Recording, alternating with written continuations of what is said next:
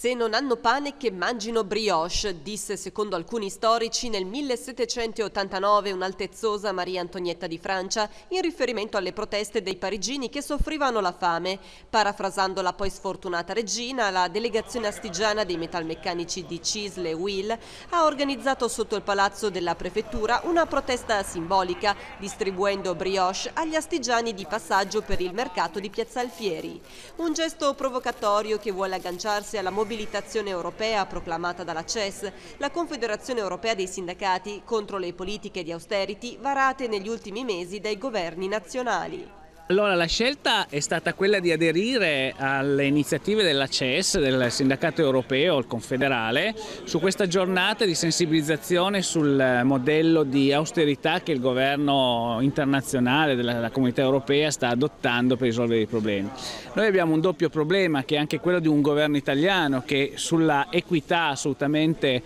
non sta facendo nulla, le cose fatte fino ad oggi hanno colpito i soliti noti, cioè pensionati e lavoratori dipendenti e per giunta abbiamo un problema enorme sugli invisibili che sono i disoccupati, un 36% di disoccupazione giovanile è una cosa impressionante. Altre organizzazioni hanno scelto lo sciopero come strumento, noi abbiamo scelto di sensibilizzare con questa iniziativa distribuendo brioche come segnale di distanza di questo governo e di chi gestisce le problematiche del popolo dalle problematiche vere, in riferimento a quello che è stato prima della rivoluzione francese la famosa frase che chi non ha il pane mangi brioche. Nessuno sciopero quindi per Will e Cisl il 14 novembre, a differenza dei colleghi della CGL, i cui iscritti hanno incrociato le braccia in numerosi settori. Cosa c'è che non va in queste nuove riforme? ma in modo particolare la proposta sull'IVA fa sì che per le famiglie dove monoreddito con figli a carico non ci sia riduzione della pressione fiscale